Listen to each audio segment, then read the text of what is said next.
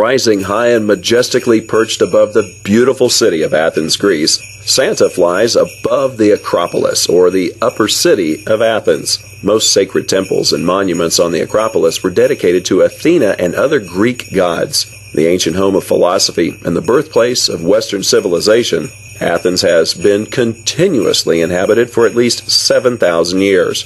Today it remains a sprawling metropolis, and its Acropolis still stands, overlooking the landscape. NORAD is keeping watch as Santa continues his journey.